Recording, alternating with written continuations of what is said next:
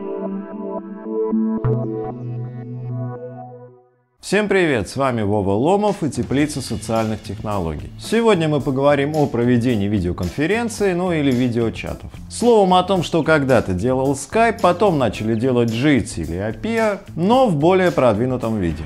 Вообще все фантастические фильмы, насколько я помню 80-е, чтобы подчеркнуть мощь научно-технического прогресса, всегда вставляли кадры с демонстрацией видеосвязи даже советские, не отличавшиеся особыми спецэффектами и изощренностью подхода.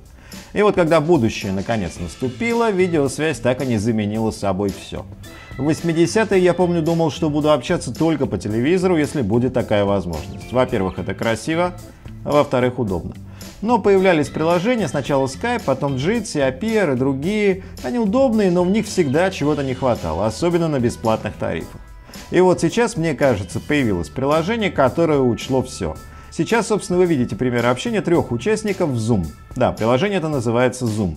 Но этого, я думаю, уже и так поняли из названия. Для запуска видеоконференции в Zoom нужно завести здесь аккаунт. Для подключения конференции не обязательно, нужно лишь скачать приложение. Но об этом позже. Регистрацию предлагают сразу бесплатную.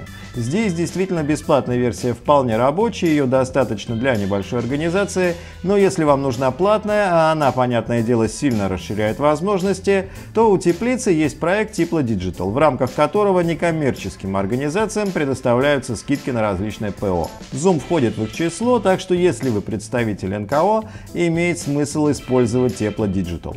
Ссылку оставлю в описании.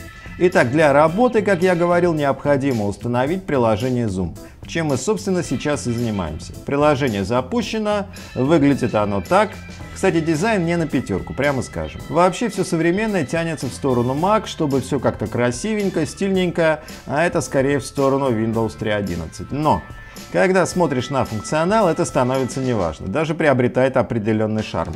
Молоток, конечно, грубая вещь, а яйца Фаберже очень изысканные, но гвозди все-таки забивать лучше молотком. Удобнее как-то. Собственно, проверив все настройки аудио-видео, у меня они, кстати, были сбиты, мы можем приступать к работе. Понятно, что все эти действия нужно производить только один раз, потом просто пользоваться. Вот перед нами Zoom. Вообще общаться самому собой не очень интересно, да и невозможно, поэтому пригласим еще участников. Можно использовать для этого почту, но на почту придет простое сообщение с URL, ну еще ID конференции, но скорее это может запутать, особенно в первый раз, поэтому проще скопировать URL и отправить с помощью любого мессенджера. Например, Facebook. Как всегда, я отправляю сам себе, то есть у меня периодически включается раздвоение личности. И при переходе по ссылке мне предложат скачать и установить приложение. Напомню, что это нужно сделать только в первый раз. Участнику, соответственно, не нужно быть зарегистрированным на сайте. Достаточно просто иметь приложение. Вот мы все установили, проверили, вот нас уже двое здесь, и более того, мы уже общаемся. И я, например, могу включить камеру, но на втором компе у меня камеры нет, да и вообще я пока один за двоих. Кстати, что интересно может делать участник конференции, который не является организатором? Отключать, включать камеру, звук это понятно. Я могу запустить чат, вещь тоже полезная. А вот запись я не могу запустить, мне нужно запросить доступ. Возможность записи это круто, очень хорошая функция. Ну а в этом уже в следующем скринкасте. И я могу приглашать участников, также просто скопировав URL. Отправим, ну для разнообразия воспользуемся Telegram. Отправим Наташа Алис. Проверим, как работает Zoom на мобильном. Если приложение не установлено, он предложит его скачать и установить. Тут нужно ввести ID конференции, но чтобы его не искать, проще вернуться и перейти по ссылке. Теперь это приложение установлено, и все. Собственно, общаемся.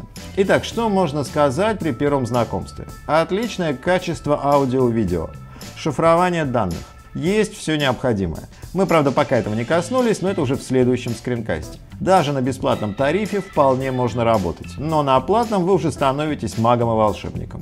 Тут и открытая API, и снятие ограничений на 40-минутную конференцию, и возможность записи конференции в облако, и еще куча всего, и все это значительно дешевле, чем у аналогичных сервисов. А если учесть скидку для НКО, то вообще почти даром но об этом уже в следующий раз. Ну вот, я думаю, что я сделаю еще один, а может быть даже пару скринкастов по Zoom. Мне приложение сильно понравилось, тем более, что у меня про версию. Так что подписывайтесь на наш канал, оставляйте комментарии, ставьте лайки, ну и любите друг друга.